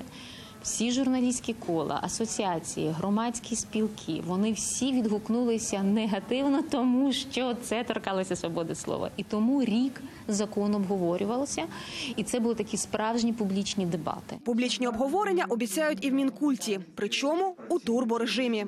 Олена Логінова, Сергій Коваль. Подробиці тижня. Телеканал Інтер. Відбулося засідання слідчої комісії Верховної Ради щодо махінацій з бюджетними коштами у Федерації футболу України. Очільника федерації Андрія Павелка підозрюють у зловживанні службовим становищем і можливому привласненні десятків мільйонів євро. Гроші, які мали витратити на будівництво футбольних полів, опинилися на офшорних рахунках компаній з ознаками фіктивності. А реальне будівництво оплачували з бюджетних коштів. Коли правоохоронці розберуться у цих махінаціях та чи доведуть справу до суду, головне питання, що хвилює депутатів. Справи ще з середини 18-го року відкриті, і по ним е, жодних дій не було зроблено, тільки по деяким. Тому е, нами сьогодні було прийнято рішення про заяву, е, в якій е, є- з якій ми будемо звертатися і до президента України, і до керівників правоохоронних органів про те, що е, дані дії є неприпустимі. Так далі тривати не може. Поліція відзвітувала про чергове розкриття гучної справи. Заарештували підозрюваних у вбивстві Аміни Окуєвої. Жінка, яка разом зі своїм чоловіком Адамом Осмаєвим воювала на сході України та була дуже відомою учасницею добровольчого руху. Що ж вдалося з'ясувати слідчим? Давайте подивимось. Жінка воїн і герой України. Медик Аміна Акоєва одна з найвідоміших добровольців. Про неї багато говорили за її життя і ще більше після смерті. А от історія Аміни почалася тут, у часи майдану. И она поднялась на третий этаж, вот там вот находилась медицинская часть Майдана. И она сказала, что она хирург, фактически уже третий курс. Это третий курс, именно не, не курс, а третий год интернатуры. Она много уже оперировала, у нее был уже опыт. И она начала, вот тут вот как раз стояла эта палатка за сценой, тут была сцена. Она где-то в конце а, декабря, мы как раз приехали 31 сюда, а она в конце декабря захотела выйти на сцену, и Руслана спросила, о чем ты будешь говорить? Она говорит, я хочу сказать, что Майдан победит. Це Ірина Камінська, мама Аміни. Каже, дочка ще тоді передбачила війну в Україні, тому й пішла в добровольці. Про саму Жакоєву досі є безліч міфів від героїчних до кримінальних. Та безсумнівно Аміна була непересічною жінкою, і її убивство набуло неабиякого резонансу не лише в Україні. Це сталося у жовтні 17-го року. Ось тут, біля села Гливаха під Києвом. Тоді по автівці, в якій Аміна їхала разом із чоловіком Адамом, відкрили вогонь із автомата. П'ять куль влучили в Аміну, дві з них голову. Її комбата Адама Осмаєва, який був за кормом, поранили в ногу. Припускають, що полювали саме на нього, а Окуєва опинилася у кріслі пасажира випадково. Зброю злочинці тоді кинули на місці. Это был автомат, который переделан, он, он из Чехии был завезен сюда, какое-то специальное вот такое орудие убийства. Я знаю, что убийцы понесут наказание, что за все в этой жизни будет обязательно возмездие. Но мне бы очень хотелось, чтобы это возмездие настигло их здесь. А вот то, что будет там, это уже другая история. Тож саме зброя і стала тією зачіпкою та приводом, чому про справу Аміни Акоєвої через два роки після вбивства заговорили на цьому тижні. Поліція заявила, що затримала ймовірних убивць. Підозрювані, а їх аж семеро, начебто причетні і до кількох інших тяжких злочинів. Саме перевіряючи дані з тих справ, і вдалося вийти на кіллерів Окуєвої, пояснюють правоохоронці. Одного з лідерів цієї групи е, біологічні зразки знаходяться на тому автоматі, який підкреслюю, був вилучений у 2017 році. Щоправда, експерти кажуть, це ще не беззаперечний доказ. Це сліди фотожирові виділення з руки. По них можна провести експертизу ДНК і встановити категорично, що саме конкретна особа тримала цю зброю, не стріляла Інна, а тримала. Чи це вона її взяла, коли оглядали місце події? Ми не знаємо. Причому автомат, який був повний з набоями. Тобто з нього навіть стрілянини не було з цього автомату. Він там чомусь був кинутий. Ну, знаючи так це таланти нашої от, поліції, він там міг і штучно з'явитися. Слідчі певні, вбивство було замовним. Інша річ мотив. Він невідомий і досі. Версія, що у Коєву могли прибрати через борги, не підтвердилася. Тим часом одного підозрюваного Ігоря Редьку узяли під варту на два місяці без права внесення застави. Про нього відомо небагато. 55 років народився в Дагестані. Тривалий час жив в Україні. Мав бізнес в it компанії. Чи міг він бути організатором в якійсь мірі? Можливо, теоретично міг. У нас чимало бізнесменів, які мають кримінальне прошле. і Вони вийшли коли з організованої злочинності одною ногою так там назавжди залишається. Я думаю, що, мабуть, Редькін е, ну, із такої ж сріди. За даними слідства, саме Редькін організатор вбивства. Хоча сам він усі звинувачення відкидає. каже Окуєва і Осмаєва не знає. Сказали, що я кілер. За півроку до вбивства на Аміну з чоловіком уже робили невдалий замах. Тоді у Києві в Осмаєва стріляв Артур Деніс Султанов, відомий в Росії бандит, наближений до глави Чечні. Чоловіка врятувала Аміна, підстрелила нападника з нагородного пістолета. Тоді ця історія теж викликала багато питань. Ну, уявіть собі, ви е, водій, який намагається ззаду двох людей розстріляти. Ну, ну, от е, цього не може бути. Але зникли пістолет один, е, який із двох, який Амінові належав там. Маса других речей. Деніс Султанов тривалий час сидів у СІЗО. Однак перед новим роком чоловіка видали Росії, обміняли на українця. Я для себя решила, вот как мать, я решила, что вот там есть один разведчик, что именно разведчика поменяли вот на этого, на этого киллера. Коли ж завершиться в суді справа про вбивство Аміни і чи покарають справді винних, прогнозувати не береться ніхто. Однак всі розуміють, багато у цій та інших гучних кримінальних справах залежить від політичної доцільності. Інна Томіна, Василь Синіцин і Богдан Савруцький. Подробиці тижня, телеканал Інтер. На переговорах у мінську сьогодні намагалися домовитись про розведення сил на Донбасі. За неофіційною інформацією, результат невеликий. Дійшли згоди про віддалення сил тільки в районі пункту пропуску Гнутове у Донецькій області. Щодо визначення інших ділянок продовжать на переговорах 29 січня. Нагадаю, на зустрічі в нормандському форматі лідери держав домовилися про розведення військ у трьох нових місцях, де саме питання відкрите. Ну а що ж на фронті про ситуацію на Донбасі? Руслан Смищук.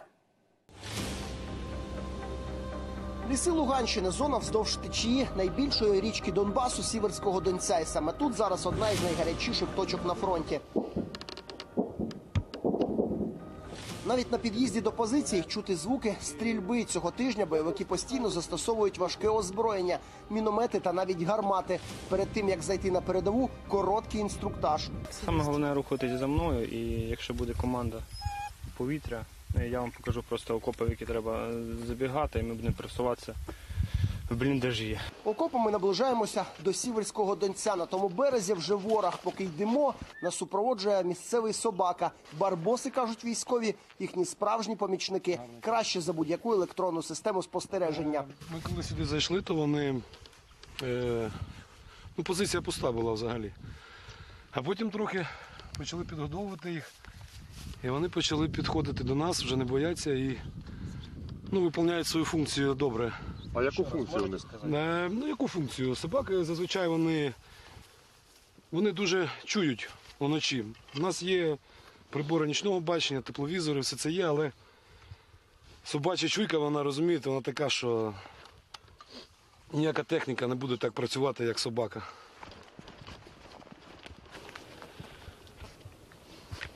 Если, допустим, начнутся активные какие-то действия, то будьте уверены, что получат по самой не хочу. Олександр у минулому спецпризначенець. Коли почалася війна, одразу пішов на фронт. Потрапив в оточення в Іловайську. Виходив через ворожі тили. Про своє рішення піти з лав МВС на передову не жаліє зовсім. Чисто, вот честно скажу, мое мнение, что у нас, э, допустим, э, МВД не на 100% используют по тем, как сказать, задачам, да, назначениям, которые сейчас необходимы. Они занимаются непонятно чем там в тылу, но не здесь. По крайней мере, мои дети не прячутся в подвалах. а Живут спокойной жизнью, ходят в школу, в садик. Поки працюємо на позиціях, періодично чуємо постріли та вибухи з боку села Кримського. Воно зараз ніби український анклав на тому березі Сіверського Донця. Зараз ми можемо чути, як наші хлопці, сусідів вправо обстрілюються, буває дуже часто. Е, ну, як для мене, це дуже часто. На Новий рік було. І серед тижня, день-два бувають такі дні, що е, обстрілюють мінометними, стрілецькою зброєю, каліберними кулеметами. Обстріли тут не люблять, але здається, що тишу тут не люблять ще сильніше. Коли ти е, постійно в тонусі, коли ти постійно там обстріли, коли ти працюєш, е, даєш отвідку, то воно якось трохи ну, легше. А коли тиша, то ти не знаєш, що чекати. Зараз, на щастя, немає морозів, які б скували Сіверський Донець кригою, бо тоді б небезпека зросла в рази. Якщо замерзне, то тоді можливі підходи якихось ДРГшників, там якихось груп. Ну, але будемо будем щось робити з ними. Ну а лише за кілька сотень метрів живуть пересічні люди. Це селище Трьохізбінка, одне із найстаріших на Донбасі. За даними останнього перепису, тут жили трохи більше тисячі людей. Зараз три чверті хат стоять пусткою. Мешканці, які залишилися, неговіркі, спілкуватися з чужими не люблять, коли бачать камеру, прискорюють кроки. Привыкли мы уже к этому все.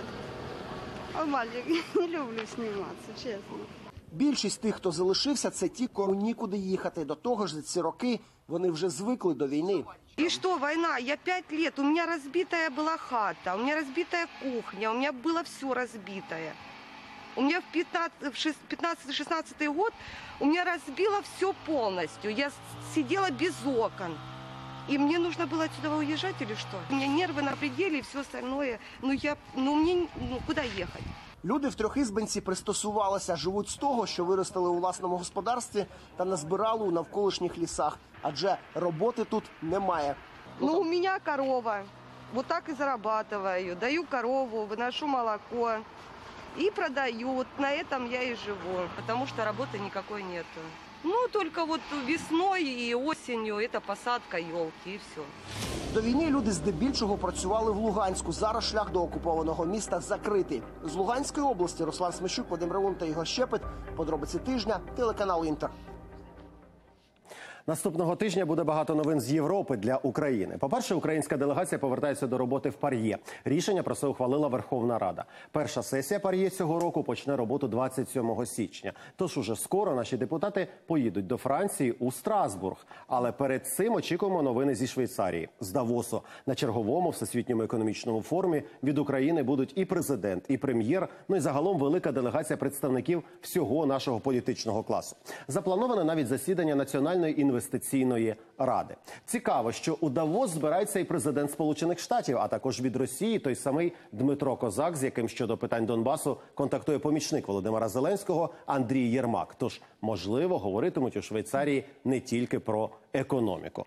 Ми ж з вами зараз поговоримо саме про неї, про те, що взагалі очікувати цього року від української економіки та від реформаторів, які вже не перший місяць обіцяють ну дуже великі великі зміни. Наші гості Тетяна Острікова, депутатка Верховної Ради попереднього скликання та експерт з питань податкової та митної політики, і Тарас Козак, економічний експерт. Я вас вітаю. Дякую, що знайшли час Добрий для вечір. цього ефіру. Пані Тетяно, як вам всі ці новини про прем'єра Гончарока? На вашу думку, заслужив чи ні прем'єр на відставку вже?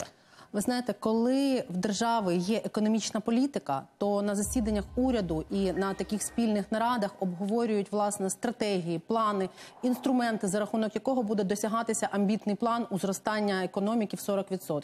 Коли ж економічної політики немає в держави і рівень дискусії окремих учасників цієї дискусії ну вкрай некомпетентний, то на таких засіданнях обговорюють те, як створити фон в голові президента, як президенту подати свої неуспіхи.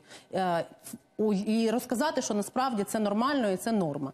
На жаль, е, без якісного професійного державного управління нічого не буде. Ми побачили завдяки цим плівкам, що немає абсолютно жодного плану, яку економіку ми будуємо, на які сектори ми робимо ставку, в тому числі в наступному році. А це рік пікових виплат по е, погашенню державних боргів.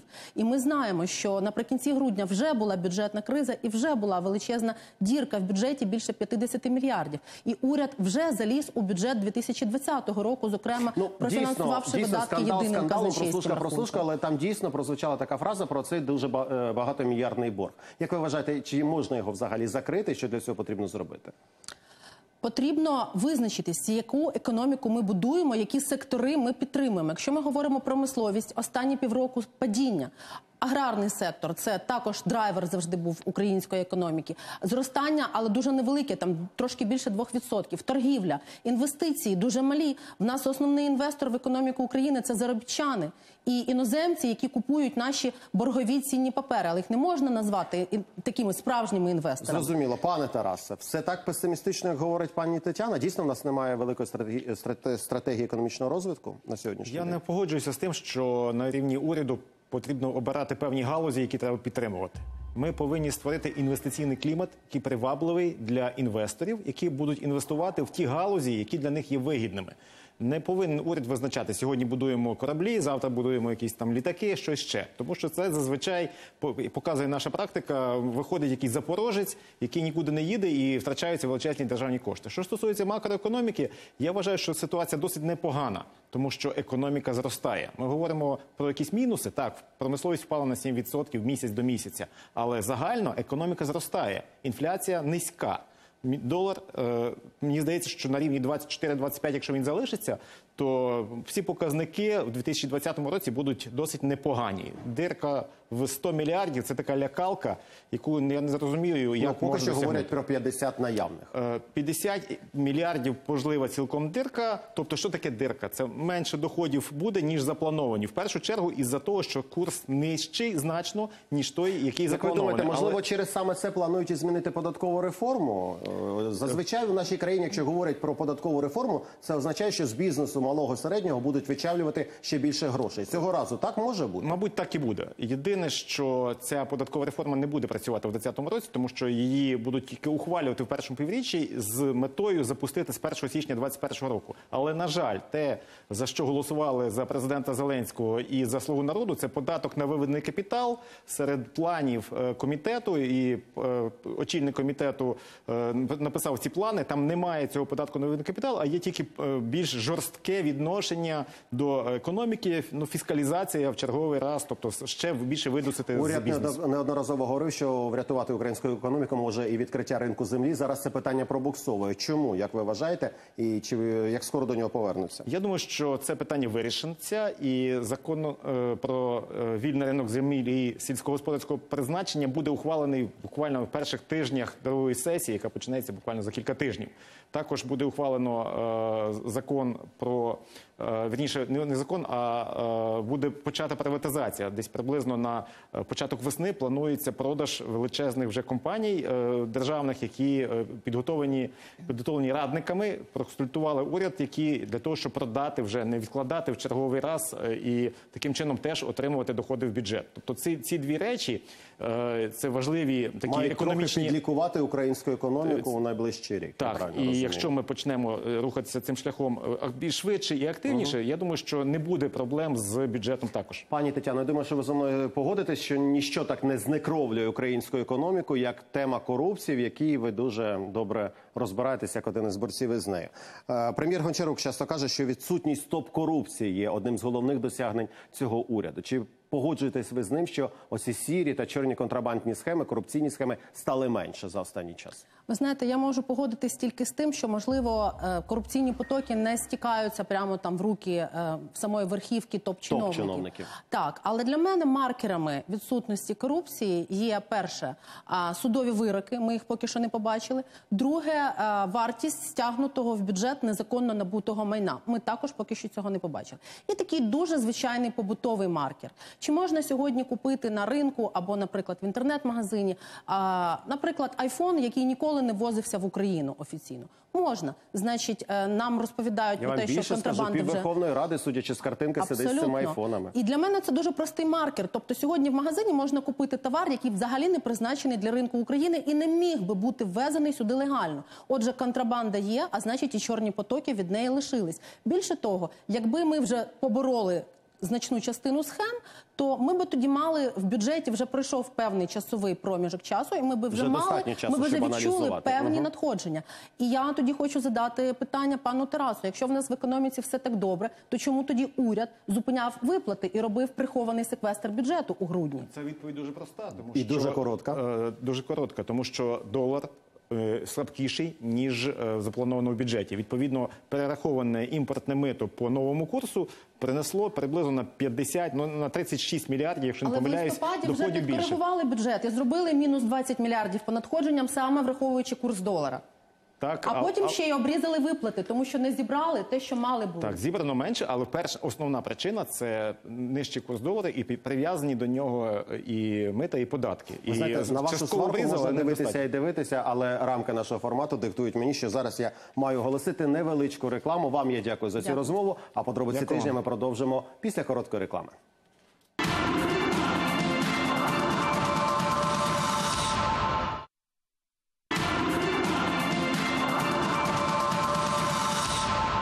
Це подробиці тижня. Ми знову у прямому ефірі.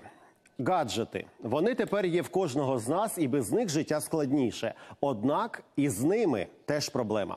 Така сама хвороблива залежність, як від алкоголю чи наркотиків. Зверніть увагу на людей, які годинами не випускають із рук смартфони або не відлипають від екранів. Можливо, ці люди вже не цілком володіють собою. Найгірше, коли гаджетоманами стають діти. Чим менші, тим більшої шкоди пристрої можуть завдати їхній психіці. Але що з цим робити, та чи можна взагалі щось зробити? Феруза Бегматова спробувала дізнатися, чи є порятунок від цієї нової загрози. Давайте подивимось. Марфа, давай порисуем. Подожди-ка минутку. Це донька відомого гумориста та шоумена Антона Лірника Марфа. Папочка! Їй лише два роки, і як усі діти, вона обожнює гаджети. Мати Марина ставиться до цього із розумінням, як до сучасних реалій. Всего нужно так по чуть-чуть дозированно, чтобы они были в этом социуме. Ограничивать детей, то есть нельзя запрещать. Вернее, так, ограничивать можно, нельзя запрещать. Это, все, это просто идти против технологий. Забороняти та відбирати гаджети не радять і фахівці. Гаджет становится таким помощником ждать родителей, э, тем объектом, который успокаивает ребенка, создает беззащ- защищенное пространство, постоянно его радует, там нету негативных эмоций. Нельзя забирать сразу гаджеты, потому что ребенок чувствует себя буквально голым, да, как будто с него буквально не только одежду, кожу содрали, очень незащищенным, потому что гаджет, он формирует его такую социальную реальность. Інша річ дозування. Марфа проводить за гаджетами лише 30 хвилин на день. На більше просто бракує часу. Дитсадок, заняття і піклування про друга. Ну, Васюль, попробуй немножко. Ну, попробуй немножко. Максимально наповнити життя дітей поза гаджетами радять насамперед і дефектологи. В Канаді проводилось дослідження. Там приймали участь е, десь 800 сімей. Е, Проводили опитування, наскільки часто діти користуються мобільними телефонами, смартфонами, планшетами, гаджетами різними.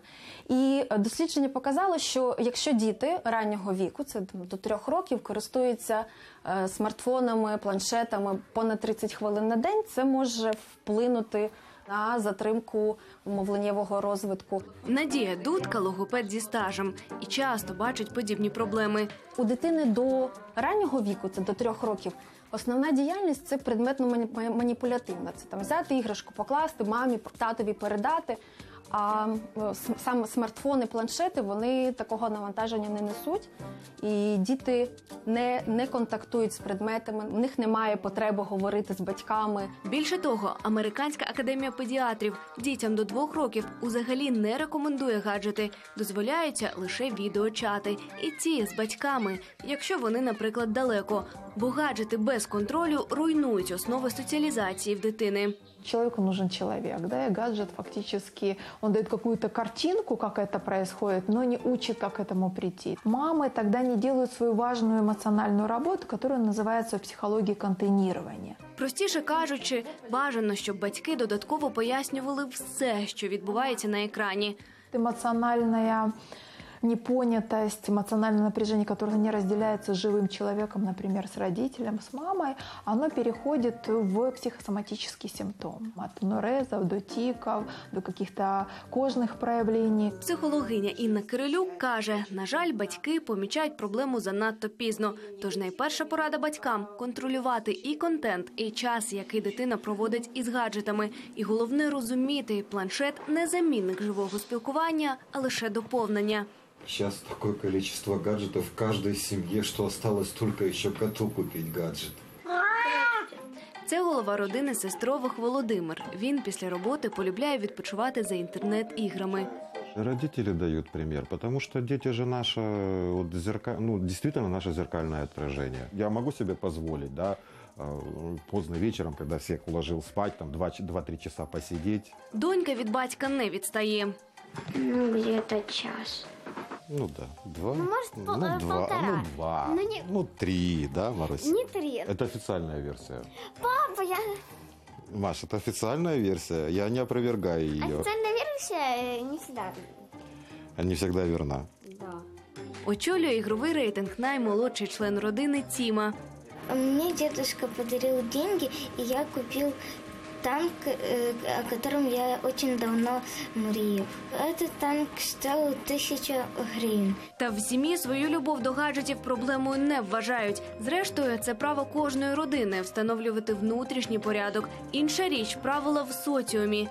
Коли гаджетоманія стає проблемою, приміром у школах. У деяких країнах, наприклад, у Франції, учням до 15 років узагалі забороняють користуватися смартфонами.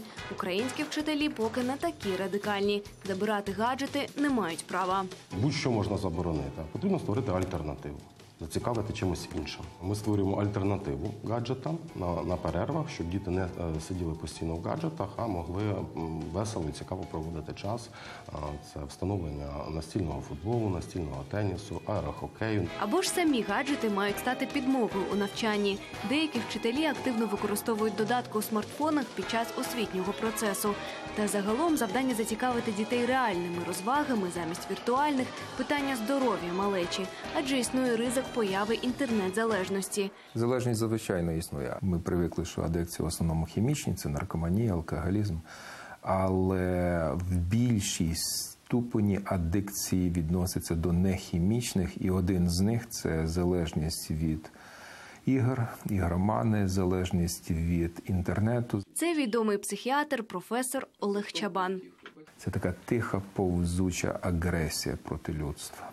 Як усіляка інша залежність, гаджетоманія вимагає лікування. Перші почали бити на сполох японці, корейці. Потім ця ідея про те, що потрібно лікувати і треба спасати людей, які хворі, Адикція це вид залежності, які хворі поширилися по Європі, почали створюватися спеціалізовані клініки. У США перший реабілітаційний центр створили 2009-го, і відтоді їх щороку більше. Лікування майже таке ж, як і для інших залежних. Забирають кібернаркотик, натомість онлайнове життя наповнюють новим змістом. Про вартість лікування говорять лише з пацієнтами. У середньому ціни на терапію від 10 тисяч доларів. Одну з таких клінік в Америці відкрив найвідоміший у цій сфері американський доктор Девід Грінфілд, автор книги Віртуальна залежність. Люди мають зрозуміти, що віртуальна залежність не відрізняється від, наприклад, алкогольної залежності. Очевидно, що фізіологічної шкоди менше, але ідея полягає в тому, що мозок реагує на ці подразники абсолютно однаково. Але як відчути цю межу і як зрозуміти, що ваші діти або навіть ви самі стали гаджетозалежними? Не існує точних критеріїв, за якими можна чітко визначити наявність залежності. Ви маєте самі проаналізувати, чи перебувають ваші відносини з гаджетами в рівновазі, або вони вражають твоє фізичне та психологічне здоров'я, можливо, навіть впливають на твій фінансовий стан, на роботу чи навчання. Але якщо ви не в змозі самі оцінити свій стан, пан Грінфілд пропонує пройти тест. І здорові, на перший погляд, люди зазвичай знаходять у себе близько 5-6 ознак залежності, і це вже привід звернутися по допомогу. Це справді питання кількості. Ми говоримо про помірне та продумане використання гаджетів, про життя, в якому ви керуєте технологіями, а не технології вами. От тільки з дітьми все складніше, їхня психіка ще не сформована. А відтак контролювати, скільки місця в дитячому житті мають займати гаджети, вирішувати лише батькам. Феруза Бахматова, Дмитро Анопченко, Сергій Коваль. Подробиці тижня, телеканал Інтер. Це були подробиці тижня. До зустрічі наступної п'ятниці.